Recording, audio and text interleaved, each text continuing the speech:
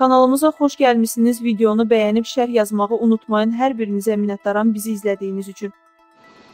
Naxçıvan Muxtar Respublikasının Ali Məclisinin sabiq sədri Vasif Talıbovun oğlanları Rıza və Seymur Talıbovlar ölkədən çıxıblar.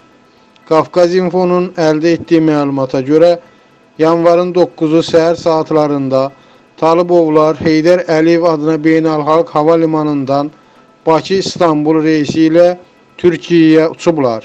Onların səfəri qısa müddət çəkib və səfər biznes məsələlərinin həlli ilə bağlı olub. Bir gün sonra isə qardaşların geri qayıtdığı bildirilir.